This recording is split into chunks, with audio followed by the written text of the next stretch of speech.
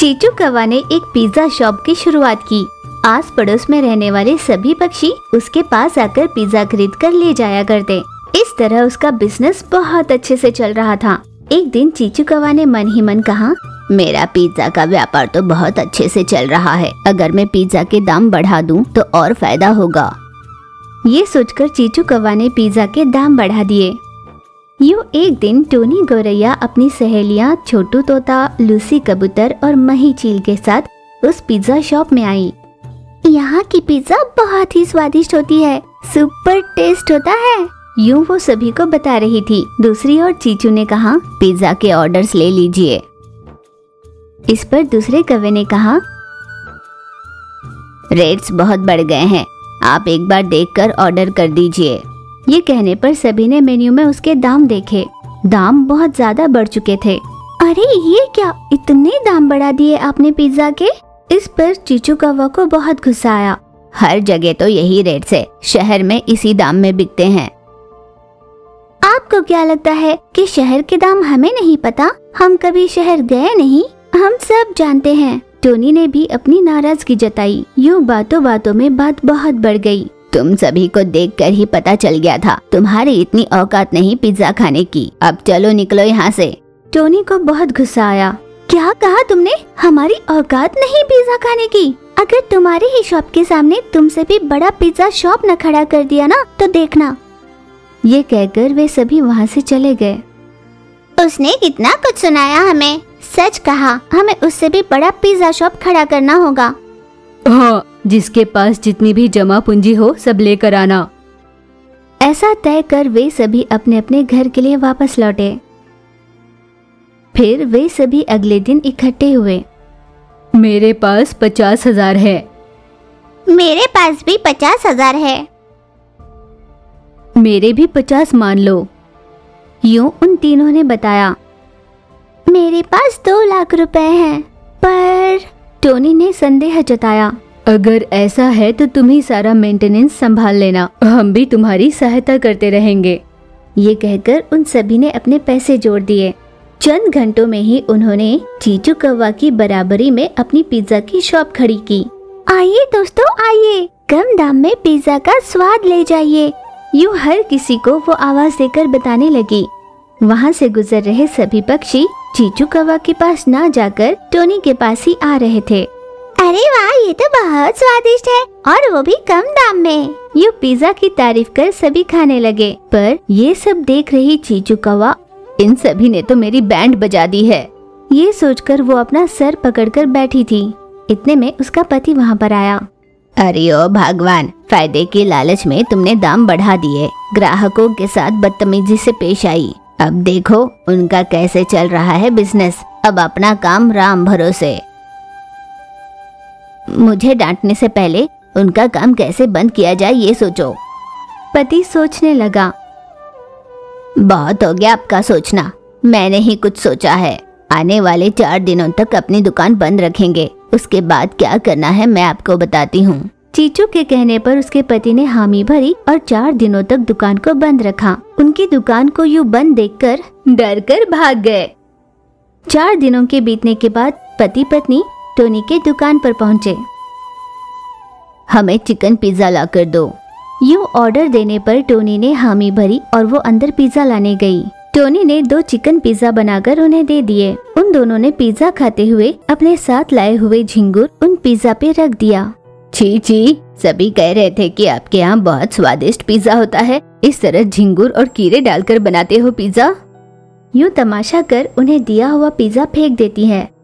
आखिर आप इतना क्यों चिल्ला रही है? हमारी दुकान की सारी पिज्जाओं को क्यों फेंक रहे हो? आप पहले वजह बताए, इसके बाद आप चाहे जो भी करना चाहो, हम आपको नहीं रोकेंगे। क्या आप इस तरह पिज्जा, झिंगुर और कीड़े डालकर देते हो? सिर्फ़ मेरे पिज्जा में ही नहीं, मेरे पति के पिज्जा में भी आया है। ये कहकर पिज्जा दिखाने लगी। वो सोच में पड़ गई कि आखिर झिंगुर कहाँ से आए होंगे। ऐसे बुत बनकर क्या खड़ी है? ये सब आपके लापरवाही की वजह से हुआ है। सभी पक्षियाँ ये देख रही थी। टोनी बहुत उदास हो रही थी। हे भगवान, ये सब क्या हो गया? मेरे दोस्त कहाँ है? इस समय उन्हें होना चाहिए था। ये सोचकर वो बहुत दुखी हो रही थी। इतने में मही, लूसी और छोटू तोता वहाँ पर आए। आ गए, आपका ही इंतज़ार था। ये कहते हुए वो सारी बात बताने लगी। अच्छा तो क्या आप मेरे साथ चलकर सिस्टम में एक बार देखेगी? लूसी ने कंप्यूटर खोलकर उन्हें बताया कि किस तरह, कि किस तरह चीचू कवा ने चालाकी से झिंगुर पिज्जा में रखा। ये सब सीसीटीवी में रिकॉर्ड हुआ था। चीचू कवा की बोलती बंद हो गई थी। शर्म से उसका सर झुक गया। हमारी मान हानि के नुकसान पर तुम्हें मैं अंदर करवा सकती हूँ। मही के ये कहने पर चीचू कवा का पति घबरा गया। ऐसा मत कीजिए, हमें छोड़ दो, हम आइंदा ऐसा नहीं करेंगे। इस तरह वो विनती करने लगा, पर चीचू कौवा बिना कुछ कहे चुपचाप खड़ी थी। पर तुम्हारी पत्नी तो कुछ नहीं कह रही। यूँ उनकी धमकी सुनकर वे दोनों बिना कुछ कहे वहाँ से चले गए। पता है मैं कितना घबरा गई थी। मैं तो भूल ही गई थी कि हमने सीसी कैमरा लगाया है। मैं जानती थी यहाँ ऐसा कुछ हो सकता है, इसलिए पहले से ही मैंने बिना बताए सीसी कैमरा लगवा दिया। मही की इस सोच पर टोनी ने उसकी तारीफ़ की। हाँ पर हम उसे माफ़ कर देते हैं, भूल जाते हैं जो हुआ। जब तक हम उस पर केस नहीं करेंगे, वो सुधरने वाली नहीं। ये सोचकर उन सभी ने चीचू कवा पर केस कर दिया। मान हानि के बदले में चीचू कवा को पूरे दस लाख रुपए देने पड़े। उस गाँव में इतनी बदनामी होने के बाद चीचू कवा और उसके पति गाँव छोड़कर कहीं और चले गए। ज़्यादा मुनाफे की आस न रखकर इन चारों दोस्तों ने अपने बिज़नेस को आगे बढ़ाया। वो एक सुंदर सा गाँव था। वहाँ पर टोनी नाम की गौरैया एक पेड़ पर अपना सुंदर सा घोंसला बनाकर अपने पति के साथ रहा करती थी। वो अपने पति के साथ खुशहाल जीवन बिता रही थी। एक दिन उनकी सहेली मही चील उन दोनों से मिलने आई। चील ने टोनी से पूछा, टोनी, कैसी हो तुम? बड़े दिनों बाद मिल रही हूँ तुमसे. हाँ मैं बिल्कुल ठीक हूँ। तुम कैसी हो? और घर पर सब ठीक है ना? तुम्हारे पति और बच्चे? चील ने उससे कहा हाँ घर पर सब कुशल मंगल है। और तुम बताओ, खुशखबरी कब सुनाओगी? इस पर टोनी शर्माते हुए बोली हाँ बहुत जल्द सुनाऊँगी। कुछ देर यूँ ही बात करने के बाद मही वहाँ से चली गई। कुछ दिन यूँ ही बीते। टोनी माँ बनने वाली थी। इसीलिए उसका पति उसका बहुत ध्यान रखने लगा। पर उन्हीं दिनों में किसी ज़रूरी काम से उसके पति को बाहर जाना पड़ा। वो अपनी सहेली मही चिल के पास गया और, दोस्त, मुझे किसी काम से बाहर जाना पड़ रहा है। कुछ महीनों तक लौट कर नहीं आ पाऊँगा। वैसे तुम्हारे पति भी काम से बाहर गए हैं ना? तो क्यों न तुम टोनी के साथ रह लो? उसे भी अच्छा लगेगा। हाँ हाँ क्यों नहीं? ऐसा ही करूँगी। चील के ये कहने पर गौरैया के पति ने राहत की सांस ली। उस दिन से चील टोनी गौरैया के साथ ही रहने लगी। कुछ महीने बीते। टोनी गौरैया ने कुछ अंडे दिए थे। उन अंडों को टोनी गौरैया जतन से रखा करती थी। पर टोनी मन ही मन सोचा करती, भले ही कितने ही अच्छे दोस्त क्यों ना हो, पर मुझे सावधानी बरतनी होगी। कहीं मेरे बच्चों के अंडे से निकलने के बाद ये उन्हें ले कर न जाए। ये सोचकर टोनी गौरैया हर समय मही पर नज़र रखा करती। यूँ ही कुछ दिन बीते। एक दिन उनकी सहेली लूसी कबूतर उनके पास आई। वो बहुत घबराई हुई सी थी। दोस्त, चलो ना जल्दी मेरे साथ। छोटू को प्रसव वेदनाएँ हो रही हैं। घबराई हुई टोनी ने कहा, दोस्त, मेरे बच्चों का ध्यान रखना। उनके बाहर निकलने का समय हो रहा है। मैं अभी लौटती हूँ। ये कहकर टोनी गोरैया लूसी के साथ वहाँ से चली गई। मही चील उन अंडों का बहुत ध्यान रख रही थी। अचानक चील ने ध्यान से देखा तो उस घोंसले में बहुत सारी चींटियाँ आ रही थी और वो चींटियाँ अंडों को नुकसान पहुँचा रही थी। उन्हें वहाँ से भगाने के लिए मही चिल ने अपने पंख फड़फड़ाने शुरू किए। ठीक उसी समय टोनी के बच्चे अंडों से बाहर निकले। अरे अरे, कितनी सारी चिंटियाँ हैं। कुछ देर तुम्हें यहाँ से कहीं और ले चलती हूँ। उनका भला चाहकर मही चील उन दोनों बच्चों को अपने घोंसले ले गई। वो जब एक एक कर दोनों बच्चों को ले जा रही थी, तब चीचू कवा ने उसे देखा। हे भगवान, टोनी के घर पर रहते हुए भी ये मही उसी के बच्चों को क्रूरता से ले जा रही है। आखिर कोई इतना दृष्ट कैसे हो सकता है? अपने ही दोस्त के बच्चों को ले जाकर भला उन्हें मारकर कैसे खा सकता है? यू मन ही मन सोच रही थी चीचू कवा। उससे रहा नहीं गया और वो टोनी को ढूँढने बाहर निकली। दोस्त, तुम गई कहाँ थी? टोनी खुश होते हुए बोली, छोटू को प्रसव वेदनाएँ हो रही थी, अब वो बहुत खुश है, सब कुछ अच्छे से निपट गया। उसकी खुशी की परवाह करते हुए तुम अपने खुद के बच्चों को ही भूल गई। तुम्हारे बच्चों को तुम्हारे घर पर रहने वाली चील ही उठा कर ले गई। ये बात जानते ही टोनी रो पड़ी। हे भगवान, ये मुझसे कैसी गलती हो गई? मैंने खुद अपने हाथों से अपने बच्चों को मौत के मुँह ढकेल दिया। हे भगवान! यूँ रोते हुए तुरंत टोनी अपने घोंसले पर पहुँची। तो देखा वहाँ पर बाकी अंडे और बच्चे नहीं थे, सिर्फ़ एक अंडा बचा था। कुछ ही समय में उस अंडे से बच्चा बाहर निकला। टोनी ने रोते हुए उसे अपने सीने से लगाया और अपने पंखों में छुपा कर रखा। तभी वहाँ पर मही चील भी वापस लौटी। दृष्ट कही कि तुम मेरे ही बच्चे को खा गई। तुम्हें यहाँ रखना मेरी गलती थी। तुम्हें मर जाना चाहिए। यूँ मन मानी उसे कहे जा रही थी।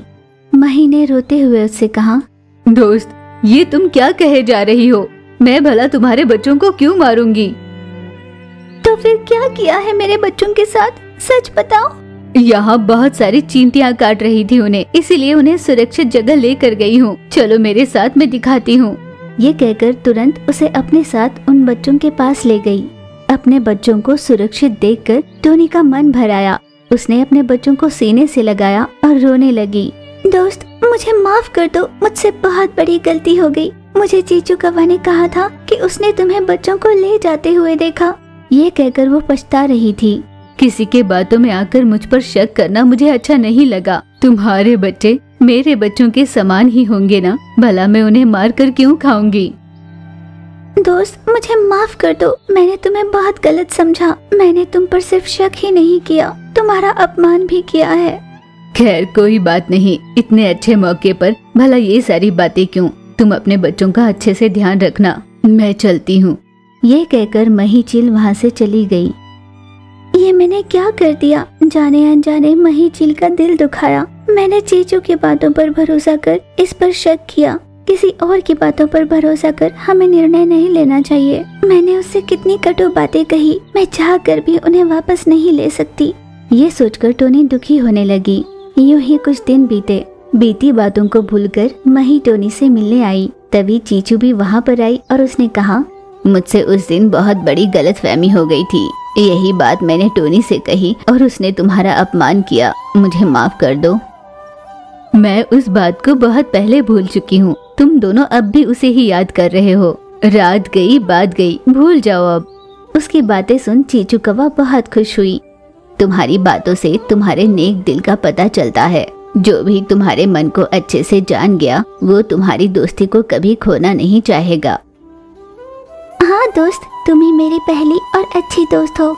मैं ये सोचकर दुखी हूँ कि मेरे पति से पहले मैंने तुमसे दोस्ती क्यों नहीं की? इस पर मही चिल ने कहा हाँ तो अब भी देर कहाँ हुई है? अब से हमेशा के लिए हम अच्छे दोस्त बने रहेंगे। इस बात पर सभी खुश होकर हंसने लगे।